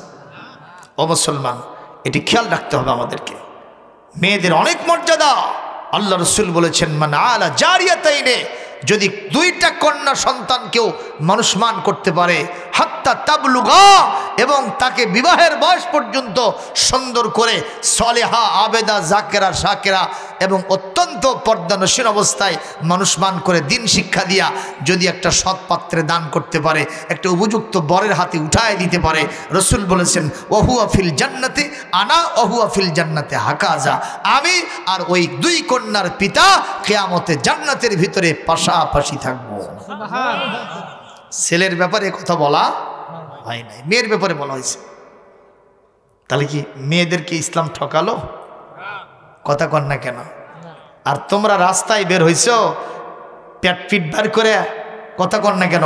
লিপস্টিক মার্কা সাজায়া এমনভাবে পাতলা ফিনফিনা আটো সাটো পোশাক পরছে। আহারে, মাথায় কাপড় নাই। এই কঠিনরা শীতের ভিতরে দেখেন, একটা পুরুষ মানুষ পাঁচ সাতটা কাপড় মাথার উপরে দিছে। কথা কন না কেন? আপনি যদি আমার এটা খোলেন, দেখবেন চার, পাঁচটা কাপড় পাবেন। আপনার কাছে মনে হয় নাই? যখন আপনার আছে না নাই? একটা পুরুষ এতগুলো কাপড় পরে, আর মহিলা পাতলা ফিনফিনা কাপড় পরে, মাথায় কাপড়ও দেয় না। আমার তো মনে হয়, এরা শয়তান ছাড়া কিছু হতে পারে না। এরা শয়তানের ফাঁদ, নবীজি হাদিসের ভিতরে বলেছেন। এ মুসলমান শরীফা, তার মানে কি? আগে আসছিল পুরুষ, এখন হচ্ছে মহিলা। অথচ আপাত মস্তক সিজার করলে আসলে পুরুষই আছে। তার মানে ওরা এখন চাচ্ছে সমকামিতা চালু করা। পুরুষে পুরুষে জেনা করা। একটা মানুষের যদি রুচি থাকে কমন সেন্স বাদ দিয়ে শুধু সেন্স থাকে, এটা কেউ করতে পারবে না। ওয়েস্টার্ন সিভিলাইজেশন পাশ্চাত্য সভ্যতা, আমেরিকার ওই বস্তা পচা মতবাদ বাংলার জমিনে কায়েম হতে দেওয়া হবে না হবে না হবে না। জনে বলুন ঠিক না ঠিক। যেই দেশে ফজরের আজানে ঘুম ভাঙে যেই দেশের ক্যাপিটাল সিটিকে রাজধানীকে মসজিদ শহর বলা হয় লক্ষ লক্ষ মসজিদ আছে মাদ্রাসা খানকা মক্তব আছে আল্লাহর অলিদের মাজার আছে আল্লাহর অলিদের আস্তানা আছে। সেই জমিনে সমকামিতার বিধান বাংলার জমিনে কায়েম হতে দেওয়া হবে না হবে না হবে না জোরে কোন ঠিক কিনা?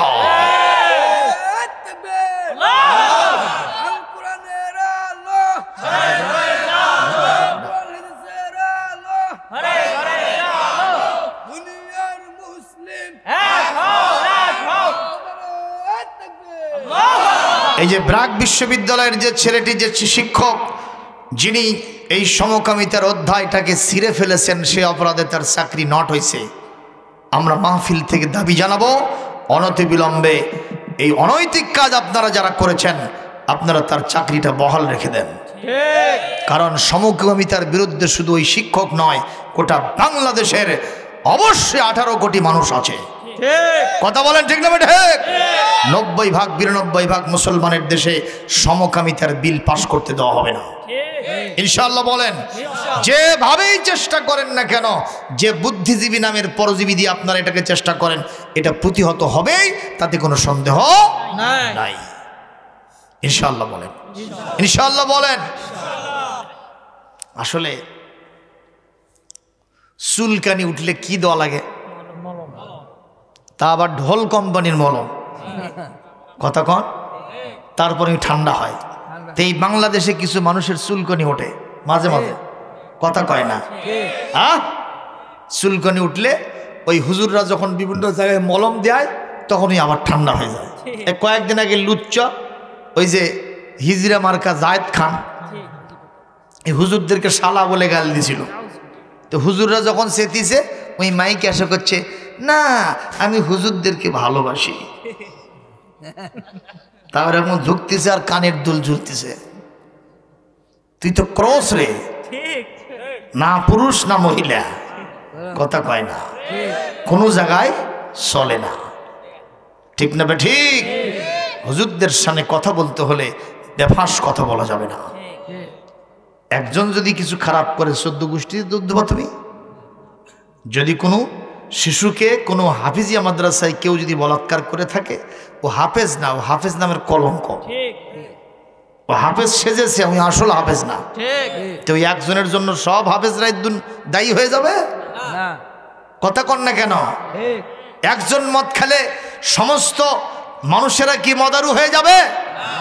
এটা হতে পারে না। সম্মানিত ভাইরা আপনারা কি মন খারাপ করতেছেন আমার ওপরে একটু খেয়াল করেন কথাগুলি। আমি আজকে আপনাদের সামনে হজরতে আলীর কথা বলছিলাম। ন্যায় বিচারটা কি জিনিস? উনি যখন ক্ষমতায় ছিলেন, ওনার যুদ্ধের একটা পোশাক যাকে বলা হয় বর্ম, এটা হারিয়ে গেছে। যুদ্ধের পোশাকটা হারিয়ে গেছে। তো এখন সব জায়গায় তন্ন তন্ন করে তিনি কম্বিং অপারেশন করছেন, চিরুনি অভিযান চালাইছেন, কিন্তু কোথাও পাওয়া যায় না। একদিন হঠাৎ করে বাজারে গেছেন, দেখেন ওইটা পরে এক ইয়াহুদি বাজারের মধ্যে ঘুরতেছে। তো নিজের জিনিসের একটা সিন আছে না? অবশ্যই। হ্যাঁ? আপনার মোটর সাইকেল যদি কেউ কোথাও নিয়ে ঘোরে আপনার এক দেখাতেই চোখে লেগে যাবে। ও যদি পার্শ্ব পরিবর্তন করে তাও আপনি চিনতে পারবেন। হতে পারে মেবি এটা আমারটা। হজরতে আলী বললেন লেমান হাজিহি এই পোশাকটা কার? বলছে লি এটা আমার। সোরের মায়ের বড় গালা বলতেছে যে আপনি কি মনে করতেছেন? খলিফে হোসেনের জন্য মশান দেখাচ্ছেন? এটা আমার নিজের টাকা দিয়ে কেনা। খবরদার আর একবার আমার পোশাকের দিকে আপনি তাকাবেন না। হজরতে আলী ইচ্ছা করলে তাকে অ্যারেস্ট করতে পারতেন না। ওনার বাহিনী আছে না নাই? খোঁজ ধর, খুজুহু, গুল্লুহু, সুম্মাল জাহিমা সল্লু। কথা কয় না? কিন্তু উনি কি তা করেছেন? উনি বলছেন যে আমার জিনিসের চিন আছে। দেখি আমি বিচার সালিশ করেই নেব। উনি তখন কুফার গভর্নর, কুফার যিনি চিফ জাস্টিস, নাম ছিল কুম্বার। যেরকম কি? কুম্বার। না সুরাই কাজীর নাম ছিল সুরাই শরীহ বলতে পারেন। এই শরীহের কাছে তিনি মামলা দিলেন। আমার এই বর্মটা, যুদ্ধের পোশাকটা আমাকে উদ্ধার করে দিতে হবে। তো বলে, ঠিক আছে। আমি তাকে অ্যারেস্ট করে নিয়ে আসব। আপনি অমুক দিনে আপনার এভিডেন্স সহ আপনি চলে আসবেন।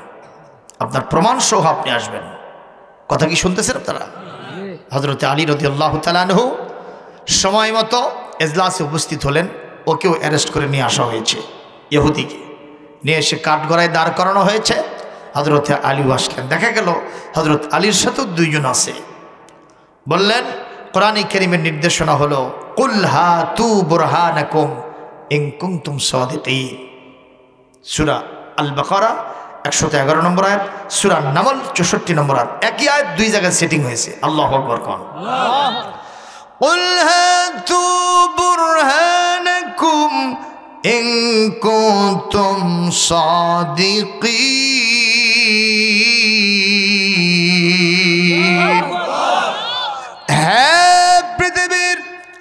দাবিকারী তোমরা যারা আছো, দাবিদার যারা আছো, তোমার দাবির পরিপ্রেক্ষিতে তুমি একটা প্রমাণ উপস্থিত করো, সাক্ষী নিয়ে আসো।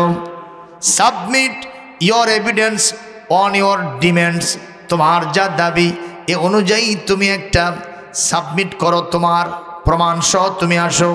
এই কথা বলা সারা হজরত আলীকে তিনি বললেন, আজি ও খলিফাতুল মুসলিমিন আমিরুল মোমিন হজরত আলী, আপনার কি কোনো সাক্ষী আছে এই বর্মের ব্যাপারে? বলে হ্যাঁ আছে। কে সে আপনার সাক্ষী? বলে, আমার সাক্ষী হলো এই যে দেখছেন দুইজন মানুষ। বলে, আর কারা কারা? একজন হলো আমার ছেলে হাসান, বড় ছেলে হাসান। আর একজন হলো আমার আমার চাকর, আমার দাস, আমার বাড়ির গোলাম।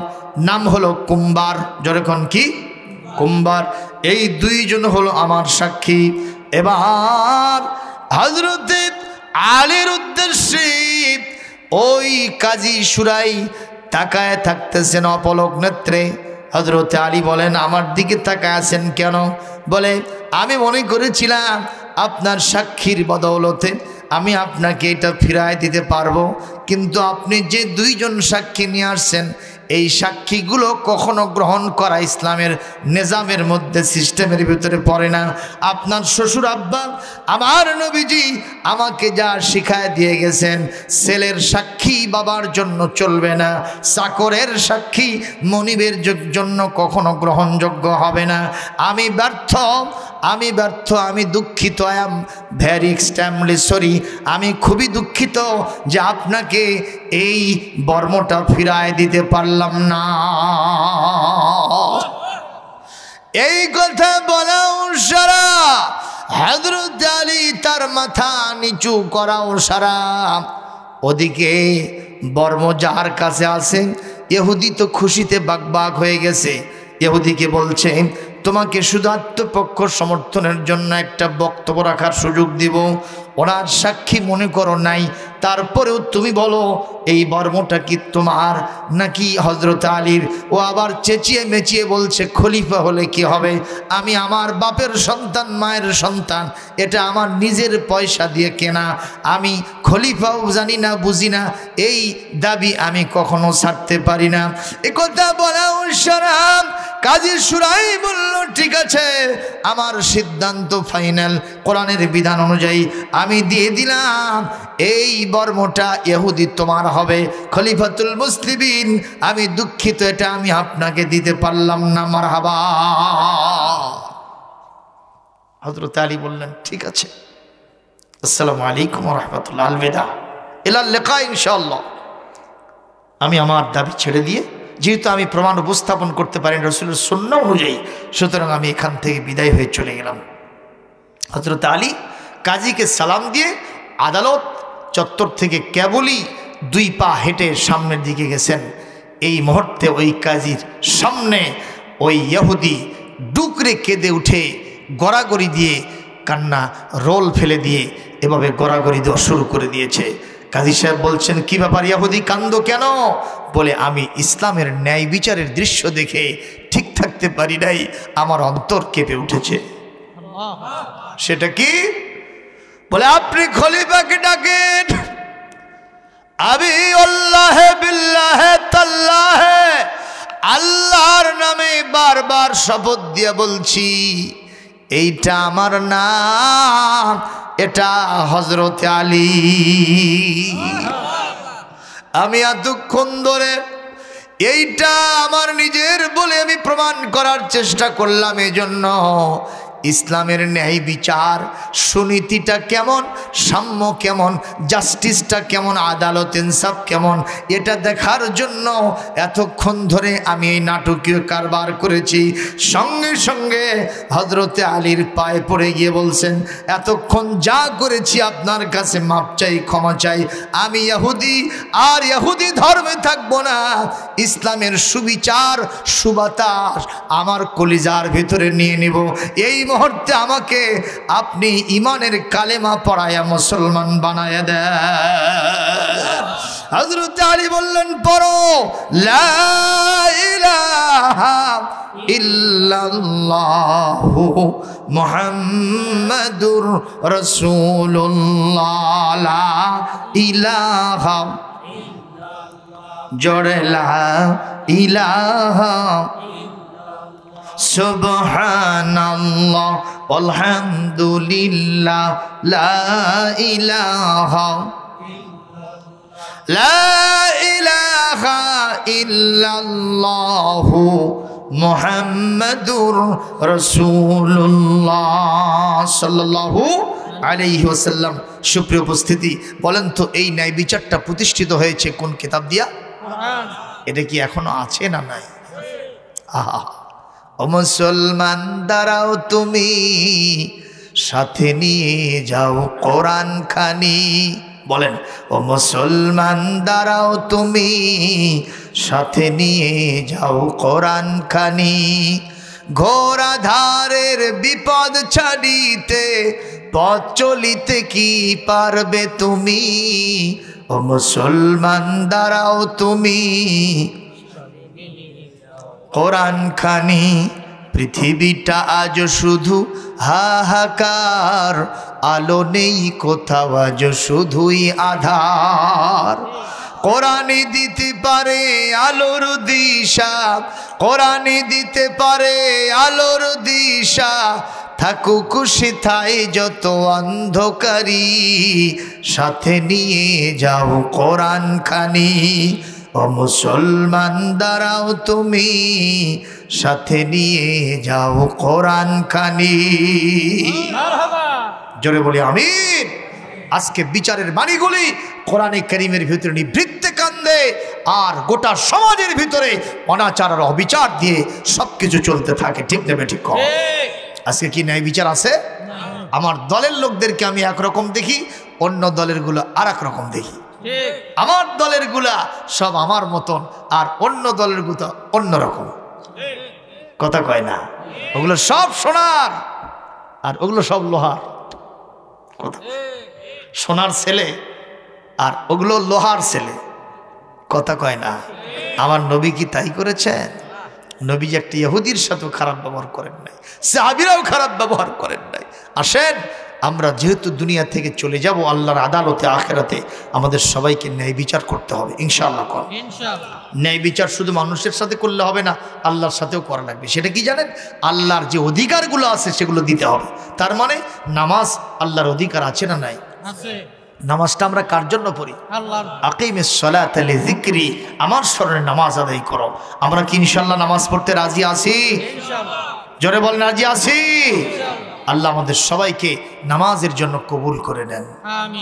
আপনারা বলবেন যে হুজুর যেখানেই যাই সেখানে সব বক্তারাই নামাজ নামাজ করে চিল্লে আমি বলব ভাই ওয়াজ বিভিন্নমুখী হবে কিন্তু নামাজের ব্যাপারে ছাড় নেই। সব বক্তার ওয়াজের মেইন পয়েন্টে এসে নামাজ থাকবেই। কারণ কিয়ামতে নামাজের প্রশ্নটাই আপনাকে সর্বাগ্রে করা হবে। জবাব কি দিতে চাই? তাহলে নামাজ পড়ার কোনো বিকল্প নাই। নাই। কত কাজ আমাদের। কবি কি বলছে? ছোট্ট ছোট্ট সোনামণিরা গান কয় আমরা খালি শুনি কিন্তু কামে লাগাই না। কি বলছে? নামাজকে বলো না কাজ আছে। কাজকে বলো আমার নামাজ আছে। বলেন নামাজকে বলো না কাজ আছে। কাজকে বলো আমার নামাজ আছে।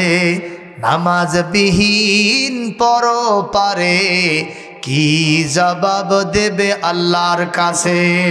নামাজকে বলো না কাজ আছে। কাজকে বলো আমার নামাজ আছে। আপনার একটা কথার জবাব দিবেন যারা খাঁটি নামাজি এরা কি খুব খারাপ মানুষ? একটু জোরে কন। না। আর যারা বেন- নাম- বেনামাজি নামাজ পড়ি না মধ্যে মধ্যে পড়ে। তাদের খারাপই আর যারা পাকা নামাজি তাদের খারাপই কি এক? ওদের খারাপই নাই কারণ আল্লাহ বলেছেন ইন্নসলাতা তানহা আনিল ফাহশাই ওয়াল মুনকার। নামাজ পড়লে জীবনের সব খারাপ কাজ অস্থিরতা ব্যাহাপনা সব দূর হয়ে যাবে। বলেন সুবহানাল্লাহ। আমরা পড়তে রাজি আছি ইনশাআল্লাহ? ইনশাআল্লাহ। কোনো দিন যদি কোরআনের সরকার প্রতিষ্ঠিত হয় বাইরে পিটিয়া সাইজ করে নামাজ ধরানো হবে। ঠিক। তখন গোয়েন্দা বাহিনীরা আর হুজুর খুঁজবে না। খালি খুঁজবে বেনামাজি কোনটি আছে দেখতো ট্যাংনাবাগুর হাটে নামাজের আজান হবে। আপনাদের নামাজ হয় কোথায়? পরিষদ আরেকটা মসজিদ তো যে ঈদগাহ মাঠের ভিতরেও আছে। ওখানে হয় নামাজ এখন? আগে হচ্ছিল। রাস্তার পাশে পাশেও আছে। তখন এই সামান্য কুড়ে ঘর দিয়ে নামাজ হতো না। চারতলা, পাঁচতলা বিল্ডিং করা লাগতো। হাটের মুসল্লিদেরকে নামাজ পড়ানোর জন্য। ঠিক। কারণ সবার চিন্তা বাবা গোয়েন্দা বাহিনী সরে দেওয়া হয়েছে। খেয়ে বেনামাজি আছে তাকে ধরার জন্যে? ওর মরা বাপ উঠেও নামাজ পড়তো। কথা কন ঠিক না? ঠিক। প্রিয় উপস্থিতি এই জন্য আমাদের সবাইকে ইসলামের পথে আগুয়ান হতে হবে। আজকে আমি এই ভাঙা ভাঙা কিছু কথা আপনাদের সামনে রাখলাম। মন খারাপ করলেন নাকি? এখন যে মসজিদে গিয়ে আমরা নামাজ পড়ব আমি আজকে দেখলাম এই মসজিদের অবস্থা অত্যন্ত দন্য দশা খুব একটা ভালো না।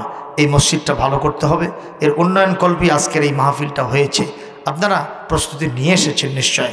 একটু নগদে কিছু দেন, আবার মাকিতেও ইনশাল্লাহ কিছু কিছু ওয়াদা করেন। কে কে পারেন একটু বলেন তো। এক মন করে একটু ধান লিখে দেন, অথবা একটু এক হাজার, দুই হাজার টাকা দেন। আল্লাহর রস্তে আল্লাহর ঘর মসজিদ হবে। নবীজির একটা সহি হাদিস আলিল্লাহে মসজিদান বানাল্লাহুলাহু বাইতাং ফিল জান্না আল্লাহর জন্য মসজিদ ঘর বানায় দিলে আল্লাহ জান্নাতের মধ্যে একটা ঘর বানায় দেয়। যার একখান ইটের মূল্য দুনিয়ায় বিক্রি করলে দেওয়া সম্ভব হবে না। সুতরাং সেই মসজিদ ঘরের জন্য আপনাদেরকে একটু কিছু করতে হবে। একটু বলেন তো, কে পারবেন? একজন বলেন, আমি এক হাজার টাকা দিব, অথবা একটা মন ধান দেব। আছেন কেউ? মসজিদ কমিটির যারা সভাপতি, সেক্রেটারি আছেন, সভাপতি কে? এই দেখেন, এই বেটা চলি প্রথমে একশো টাকা দিয়েছে। মার হাবা কন লিল্লাহে তাকবীর আল্লাহু আকবার হাতি ঘোড়া গেল তল ভেড়া আসে কয় কত জল এই সেই ছেলে কাম সারছে মার হাবা জোরে বলেন আল্লাহ অন্ধ হাফেজ আবুল কালাম আজাদ এখানে এসে বসে আছে এই ছেলেটি ওয়াজ وعلى آل إبراهيم إنك حميد مجيد اللهم بارك على محمد وعلى آل محمد كما باركت على إبراهيم وعلى آل إبراهيم إنك حميد مجيد أستغفر الله ربي من كل ذنب وأتوب إليه لا حول ولا قوة إلا بالله العلي العظيم ওটা বান্দা সান্দার হাত দিয়ে দেন ওই গুণে নিবিনি পড়ে আমরা দোয়া করব এখন জি ইনশাআল্লাহ ইনশাআল্লাহ আপনি দোয়া করেন اللهم آمين الحمد لله رب العالمين والصلاة والسلام على رسوله الكريم وعلى آله وأصحابه أجمعين ربنا ظلمنا أنفسنا وإن لم تغفر لنا وترحمنا لنكونن من الخاسرين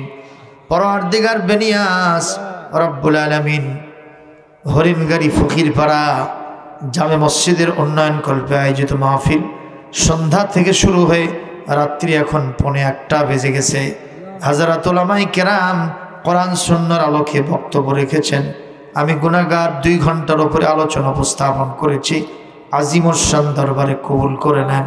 বাদাউলতে আমাদের জীবনের সমস্ত গুণা খাতা মাফ করে দেন। আল্লাহ আজকের মাহফিল থেকে যা সবাব দেবেন, দরুদ এবং সালাম নবী করিম আলাইহি ওয়াসাল্লামের রওজা মুবারকে পৌঁছায় দেন। তাম দুনিয়ার মাটির নিচে যত মোমেন মোমেনা শুয়ে আছেন, আল্লাহ তাদের আরও আর পরে সওয়াব পৌঁছায় দেন। খাস করে আমাদের মাছ থেকে জনম দুঃখিনী মা যাদের হারিয়ে গেছেন, আমাদের আব্বা যান, দুনিয়ায় যাদের জীবিত নাই, বাবা মার কবরগুলিকে জান্নাতের টুকরা বানায় দেন। রব্বির কামা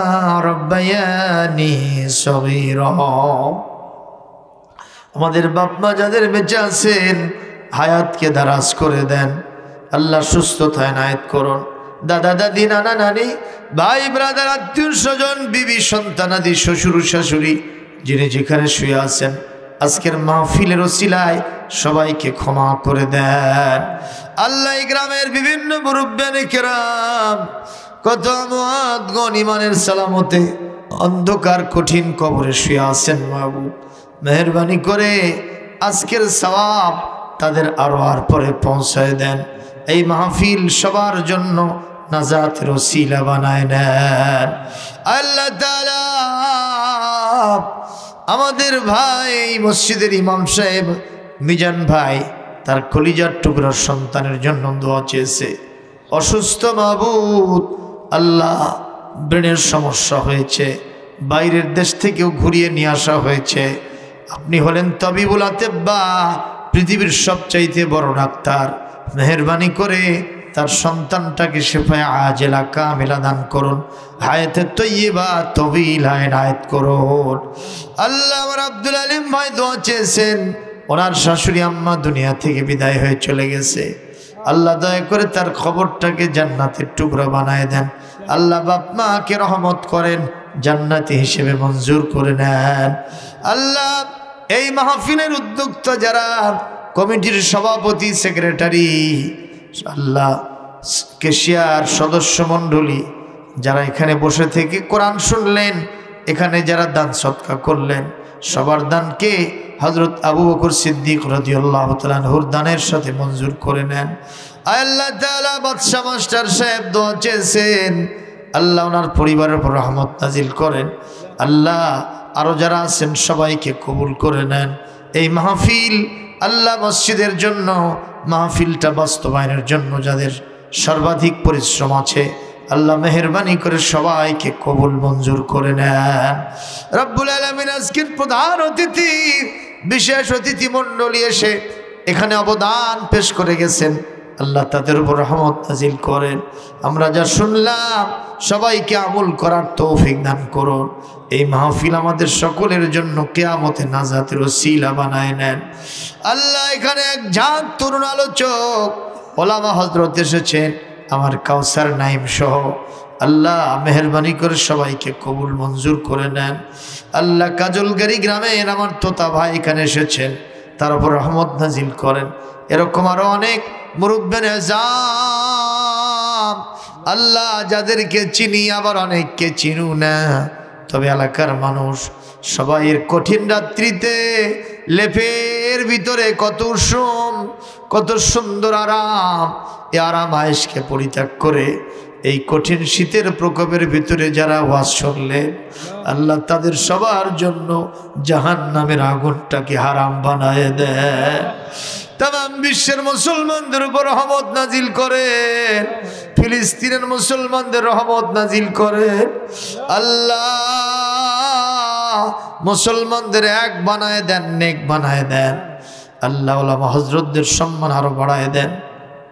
রব্বুল আলমিন মা বোনদের উপর রহমত নাজিল করেন। স্বামীর সংসারকে সুখময়, আনন্দময় করে দেন। এ আশা হাত নামালাম। আমাদের কথাগুলি আপনি শুনেছেন। এবং কবুলিয়াতের মর্যাদা দান করেছেন। আমাদের আজকে আমাদের বিশেষ আলোচক হজরত মাওলানা কোরবান আলী সাহেব দোয়া চেয়েছেন, আল্লাহ তার উপরেও রহমত নাজিল করেন। আমার এই গ্রামের জামাই, আমার ভাই যান মাকুম ভাই হাজির সাহেব, আল্লাহ তিনি অসুস্থ দোয়া চেয়েছেন, মেহরবানি করে তার উপর খাস রহমত, বরকত নাজিল করেন। রব্বানা তাকাব্বাল মিন্না, ইন্নাকা আনতাস সামিউল আলিম, অতুব আলাইনা। إنك أنت التواب الرحيم سبحان ربك رب العزة عما يصفون وسلام على المرسلين والحمد لله رب العالمين واجعل آخر كلامنا عند الموت لا إله إلا الله محمد رسول الله